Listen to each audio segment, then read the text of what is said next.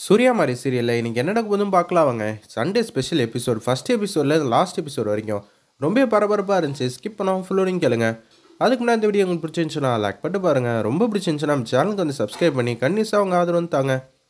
அந்த கோரக்குங்கிற மந்திரவாதி வந்து பேச்சு வந்து ஆரம்பிக்கிறாங்க. நான் வந்து தேவி அம்மாவை கட்டுப்படுத்தணும்னா எனக்கு ரெண்டு விஷயம் வேணும். ஒன்று அவங்களோட புடவை. இன்னொன்று சூர்யாவோட ரெட் கலர் இது ரெண்டும் வந்து வரணும். அது மட்டும் இல்லாமல் சூர்யாவை நீங்கள் இங்கே கூட்டிகிட்டு வந்தால் மட்டும்தான் அவனை வச்சு தான் தேவி அம்மாவை இங்கே வர வைக்க முடியும். சூர்யா நிதானமாக இருக்கும்போது நிச்சயம் இதுக்கு ஒத்துக்கவே மாட்டானே. நான் இங்கே வந்ததுக்கப்புறம் என்னோட ஆட்டமே வேறமாக தான் இருக்கும். அதை பற்றிலாம் நீங்கள் கவலைப்பட வேணாம். நான் சொன்னதை மட்டும் தெரிஞ்சுக்கிட்டா போதும். தேவையில்லாமல் நீங்களாக எதுவும் குறுக்கு கேள்வி கேட்காதீங்கன்னு சொன்னேன். ரொம்ப சந்தோஷம்னு சொல்லிட்டு இது எல்லாத்தையும் வந்து தாரா வந்து அவங்க கேங்கிட்ட வந்து பேசுகிறாங்க ஸ்ரீஜா நீ என்ன பண்ணியோ இது பண்ணியோ எனக்கு தெரியாது. நீ தான் புடவை எடுத்துகிட்டு வரணும். தேவி அம்மாவோட புடவை அப்படின்னு சொல்கிறாங்க ஒன்று அவங்க ரொம்ப பட்டமாயிட்டாங்க நம்ம ஸ்ரீஜா. எப்படா எடுத்துகிட்டு வருது? திருப்பி வந்து கற்பனாசாமி வந்து அடி அடி நடிச்சா என்ன பண்ணுன்னு தெரியாமல் தவிக்க ஆரம்பிச்சிட்டாங்க அந்த இடத்துல. நம்ம ஸ்ரீஜா உன்ன ஸ்ரீஜாவோட மைண்டை வந்து குழப்பறதுக்காக மாறி இன்னும் கொஞ்சம் நாளில் இந்த வீட்டை விட்டு போயிட்டான்னு வச்சுக்க. மாரியோட நகை பரம்பரை சொத்து எல்லாம் வந்து உனக்கு தான் வரப்போகுது. அப்போனா நீ எப்படி இருப்பேங்கிற மாதிரி நினச்சி பாருனோட அவங்க அவ்வளோ பெரிய நகையை எல்லாத்தையும் வந்து போட்டிருந்தா எப்படி இருப்பாங்களோ அதெல்லாம் நினச்சி பார்த்துட்டு சரி அத்தை நான் உங்களுக்கு நிச்சயம் வந்து உதவி செய்கிறேன்னு சொல்லி சந்தோஷமாக வந்து அந்த புடவையை எடுத்துகிட்டு வந்து கொடுக்கல மாதிரி இருக்காங்க. ஒன்றா வந்து சங்கரமணி வந்து பேசுகிறாங்க ஸ்ரீஜா வரத்துக்கு முன்னாடி ஒரு வேளை ஸ்ரீஜா வந்து அடி உத வாங்கி தாங்க முடியாமல் கற்பனசாமி வந்துட்டாங்கன்னு வச்சுக்கோங்களேன். அவளோட பழைய புடவையை வந்து எடுத்துகிட்டு வந்துட போகிறா அப்படின்னு சொல்லிட்டு இருக்காங்க. ஸ்ரீஜா வந்து அந்த புடவை எடுத்துகிட்டு வந்து கொடுத்துட்றாங்க. என்ன மாமா என்ன இப்படி பண்ணிட்டு இருக்கீங்க? அப்படின்னு சொல்லி கேட்குறாங்க நான் உண்மையை தான் சொன்னேன். உங்ககிட்டலாம் எந்த ரகசியத்தையும் சொல்ல முடியாது. சூர்யாவை நீங்கள் எப்படி கூட்டிகிட்டு வருவீங்க? எனக்கு ஒன்றுமே புரியலையேங்கிற மாதிரி கேட்குறாங்க அந்த இடத்துல. நம்ம சங்கரபாணி வந்து தாராட்ட பொய் சொல்லி தான் கூட்டிகிட்டு வரணும். அது நமக்கு என்ன தெரியாதா? நான் பார்த்துக்கிறேன்னு சொல்லி. சூர்யாவும் மாரியும் ஒத் ஒத்துமையாக வந்து இருக்காங்க. அப்பன்னு பார்த்து மாடிக்கு வந்து தாரா வந்து கதவை தட்டுறாங்க. சூர்யா அவங்ககிட்ட தனியாக வந்து பேசணுன்னே சரி ஹஸ்பண்ட் சார் அம்மா கூப்பிட்றாங்களா போங்க அப்படின்னு சொன்னோன்னே அவங்க சொன்ன எந்த விஷயத்தையும் என்கிட்ட மறைக்கக்கூடாது. உண்மையை மட்டும் தான் சொல்லணுங்கிற மாதிரி அதிரடியாக பேசுகிறாங்க மாதிரி உன்கிட்ட நான் எந்த உண்மையை மறைச்சிருக்கேனாங்கிற மாதிரி யதார்த்தத்தை புரிஞ்சுக்கிட்டு அப்படியே வந்து தாரா கிட்ட பேசுகிறதுக்காக போகிறாங்க என்னம்மா என்கிட்ட ரகசியம் பேசணுங்கிறீங்க? இப்போ ஒரு முக்கியமான கட்டம் இருக்குப்பா.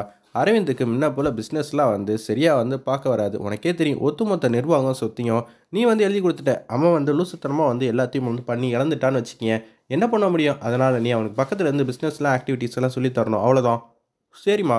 வேறு என்னாவது வேணுமா? ஆமாம் சூர்யா. இன்னொன்று நீங்கள் ரெண்டு பேரும் கஷ்டப்படாமல் இருக்கணும்னா எனக்கு ஒரு சாமியார் வந்து சொன்னாங்க. அவங்க சின்னதாக ஒரு பரிகாரம் வந்து செய்யணும்னு சொன்னாங்க. சரிம்மா நீங்கள் எந்த இடத்துக்கு வரணும்னு சொன்னீங்களோ அந்த இடத்துக்கு நானும் மாறி வந்துடுறோம். அச்சச்சோ. அச்சச்சோ மாறி வந்தால் காரியமே வந்து கெட்டு போயிடுமேங்கிற மாதிரி தாரா வந்து யோசிச்சுட்டு இருக்காங்க இல்லைப்பா நீ மட்டும் வா. ஏன்னா அது ஆம்பளைங்க மட்டும்தான். கலந்துக்கிற பூஜை மாறி வரக்கூடாதுங்கிற மாதிரி கட்டன் ரைட்டாக சாமியார் வந்து சொன்னாங்க. உங்ககிட்ட மாறி எதுவும் கேட்டாங்கன்னா அரவிந்த் சமாச்சாரம் மட்டும் சொல்லணும்.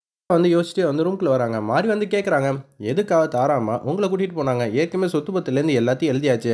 அப்படி இருக்க சூழ்நிலை எதுக்காக இது மாதிரிலாம் பண்ணுறாங்கன்னு சொல்லிட்டு அதிரடியாக வந்து கேட்குறாங்க இதை கேட்டோன்னு வந்து அவங்களுக்கு ஒன்றுமே புரியல. நம்ம சூர்யாவுக்கு எப்படி சொல்லி சமாளிக்கிறது என்ன சொல்லி சமாளிக்கிறதுங்கிற மாதிரி யோசிச்சுட்டு இருக்காங்க அந்த இடத்துல. நம்ம சூர்யா உன்னை வந்து அரவிந்துக்கு வந்து பிஸ்னஸ் மீட்டிங் சம்மந்தப்பட்டது எல்லாத்தையும் வந்து கற்றுக் கொடுக்கணுமா? அதுக்காக தான் கூப்பிட்டுருந்தாங்க. சரி ஹஸ்பண்டு சார் நீங்கள் மட்டும் பாசிட்டிவாக வந்து போங்க.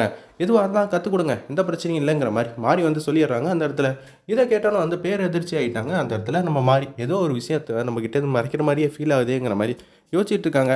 ஹஸ்பண்டு சார் வேறு எதுவும் என்கிட்ட வந்து மறைக்கல இல்லை மாறி அப்படின்னு சொன்னோன்னே பொழுது வந்து விடிஞ்சிருச்சு. வீட்டில் வந்து வெளியில் வந்து சங்கரபாணிலேருந்து அவங்க கேங் எல்லாம் வாசலில் வந்து வெயிட் பண்ணிகிட்டு இருக்காங்க. சூர்யா என்ன வரதுக்கு இவ்வளோ தாமதமாகுது? அவர் வந்து யோசிக்கிறாங்க நம்ம தாரா. போய் சொல்லிட்டு வரணும்ல? மாறி வந்து எவ்வளோ புத்திசாலித்தனமாக இருப்பா? சூர்யாவை மட்டும் இங்கேருந்து தைரியமாக கூட்டிகிட்டு போயிட்டுனா நமக்கு பிரச்சனையே இல்லை. தேவி கதையை முடிச்சிடலாங்கிற மாதிரி அதிரடியாக யோசிக்கிறாங்க. சக்கரமணி வந்து பேசுகிறாங்க நான் வேணால் போய் பார்க்கட்டா? சூர்யாவுக்கு போய் சொல்ல வராது. அவன் ஏதாவது சொல்லி சமாளிப்பான். நீயா உள்ளே போய் ஆட்டத்தை வந்து கலைக்காதுன்னு சொல்கிறேன் தாரா கேங்கெலாம் அந்த வாசலில் வெயிட் பண்ணுற மாதிரி காட்டுறாங்க. ஒரு பக்கம் சூர்யா வந்து பிஸ்னஸ் மீட்டிங் சம்மந்தமாக தான் வந்து கூட்டிகிட்டு போகிறேன் எதுக்கு தேவி அம்மாவோட ஆசீர்வாதத்தோடு போங்கன்னு சொல்லி ஆசீர்வாதம் பண்ணுறப்ப குங்குமம் வந்து கீழே விழுவுது மாலை வந்து கீழே விழுவுது போகாதங்கிற மாதிரி தேவி அம்மா வந்து சொல்லிக்கிட்டு இருக்காங்க. மனசுக்குள்ளேயே இருப்பினும் வந்து யாருக்கும் எதுவும் புரியாதனால அமைதியாக இருக்காங்க.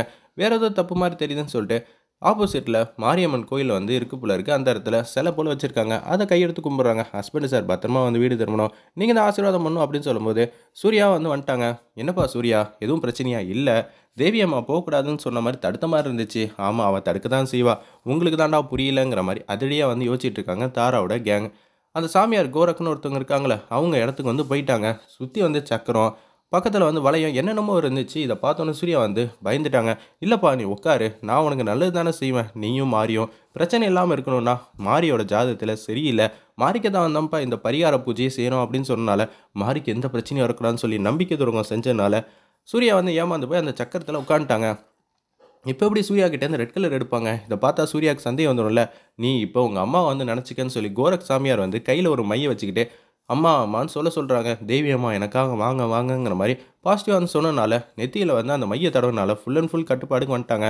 சுற்றி வந்து அந்த மந்திர வளையத்துலேருந்து சூர்யா வெளியில் வரக்கூடாதுன்னு சொல்லிட்டு ஒரு உருண்டை மாதிரி கோல்டன் கலரில் வந்து ஜொலிக்க ஆரம்பிச்சிருது சூர்யாவை சுற்றி ரொம்ப மாயாச்சலம் சூப்பராக இருந்துச்சுன்னே சொல்லலாம் அந்த சீன்லாம் இனிமேட்டு சூர்யா நம்ம கட்டுப்பாட்டில் தான் இருப்பான். என்ன வேணாலும் செய்யலாம்னு சொல்லும்போது சூர்யா உன் கையிலேருந்து ரெட் கலர் எடுக்கலாமான்னு சொல்லும்போது அதே மாதிரி ரெட் கலர் வந்து எடுத்துட்டாங்க. அவங்க வந்து சாமியார் வந்து அவங்க பூஜையை வந்து செய்ய ஆரம்பிச்சிட்டாங்க. மாறி ஒரு பக்கம் நெத்தியில் வந்து கை வச்சு பார்க்குறாங்க. அவங்களுக்கு நடந்த உண்மையெல்லாம் தெரிஞ்சிருது. அச்சச்சோ தேவி அம்மாவுக்கு பிரச்சனை வருதா? என்ன பண்ணுறதுன்னு தெரியாமல் சித்தரை போய் பார்க்கலான்னு சொல்லிட்டு கோயிலுக்கு வந்து போகிறாங்க இந்த பந்தல் வந்து வச்சுக்கம்மா. இந்த கையில் வந்து பந்தல் இருக்கிறப்ப எங்கே அணையுதோ அங்கே போய் பார்த்துக்க. உனக்கு எல்லாமே தெள்ள தெளிவாக தெரியுங்கிற மாதிரி அதிரடியாக பேசிடுறாங்க அந்த சித்தர். அதே மாதிரி இவங்களும் வந்து ஒவ்வொரு இடம் இடமா வீதி வீதியாக வந்து அலைஞ்சிக்கிட்டு இருக்காங்க. நம்ம மாறி வந்து கையில் வந்து பந்தல் வச்சுக்கிட்டு ஒரு பக்கம் ஆல்மோஸ்ட் வந்து தேவி அம்மா வந்து அந்த சக்கரத்துக்குள்ளே வந்து வந்துட்டாங்க. சுற்றி வந்து நெருப்பு எரியுது. ஆனால் இவங்க கண்ணுக்கு எல்லாருக்கும் தேவி அம்மா தெரியவே இல்லை. ஆனால் தேவி அம்மாவோட அலற சத்தம் மட்டும் கேட்குற மாதிரி அந்த இடத்துல கிராஃபிக்ஸ் சூப்பராக காட்டியிருந்தாங்க. தாரா கேங் வந்து நினச்சி பார்க்குறாங்க. எனக்கு வந்து தேவி அம்மா தெரியவே இல்லையே. தாரா கண்ணுக்கு மட்டும்தான் தெரியுது. மிச்சம் யார் கணக்கு தெரில சங்கரமணி வந்து ஸ்ரீஜா கிட்டேயும் ஜாஸ்மின்ட்டையும் கேட்குறாங்க எனக்கும் ஒன்றும் தெரில அரவிந்த் உனக்கு தெரியுதாடா? தெரியல. இவர் ரொம்ப சக்தி வாய்ந்த மந்திரவாதியாக தான் இருப்பார். நான் கூட வந்து டம்மி நினச்சேன். பரவாயில்ல. அப்படின்னு சொல்லி சொல்லிட்டு இருக்காங்க. ஒரு பக்கம் வந்து தேவி அம்மாவோட அலார சத்தம் வந்து கேட்டுருது நம்ம மாறிக்கு அந்த பந்தலும் வந்து அணைஞ்சிருது. அதனால மாசா வந்து அந்த இடத்துக்கு வந்துடுறாங்க. மாறி இங்கே வந்துட்டால இப்போ மாறி கதையும் தேவி கதையும் ஒன்றாவே முடிச்சு காட்டுறேன். இப்போ தான் நான் போடுற புது திட்டத்தில் வந்து இவங்க எல்லாம் மயங்கி கீழே விழுவ போகிறாங்கிற மாதிரி அதிரடியாக தாரம் வந்து அடுத்த திட்டத்தை வந்து எக்ஸிக்யூட் பண்ணலான்னு இருக்காங்க. என்னை எப்படி இருந்தாலும் காப்பாற்று மாறி மாறிங்கிற மாதிரி தேவி அம்மா வந்து கத்துறாங்க. நான் இருக்கிறப்ப உங்களுக்கு எதுவும் பிரச்சனை வர விடுவானா?